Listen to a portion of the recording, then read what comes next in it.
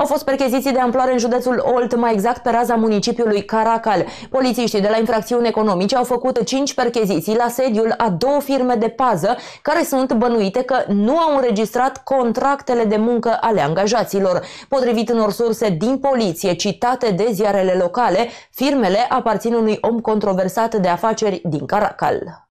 Polițiștii de la investigarea infracțiunilor economice au făcut joi dimineață cinci percheziții în Caraca la două firme de pază care nu ar fi înregistrat contractele de muncă ale angajaților. Societățile sunt responsabile cu paza mai multor instituții publice și a unor societăți comerciale din Caracal. Potrivit unor surse din poliție, firmele aparțin controversatului om de afaceri Remus Rădoi, la care ar fi apelat adjunctul poliției din Olt pentru a găsi mașina lui Gheorghe Dincă, scriu jurnaliștii de la Gazeta de Sud. Anchetatorii vor ridica documentele contabile ale societăților comerciale după ce reprezentanții firmelor ar fi refuzat să prezinte aceste acte autorităților. Trei persoane vor fi duse la audier pentru a explica de ce au ascuns documentele. Remus Rădoi a fost solicitat anul trecut după apelurile la 112 ale Alexandrei Măceșanu, care și-a anunțat răpirea să ajute poliția cu informații despre o mașină. Cererea a fost făcută de adjunctul IPJ Olt de la acea vreme, Nicolae Alexe.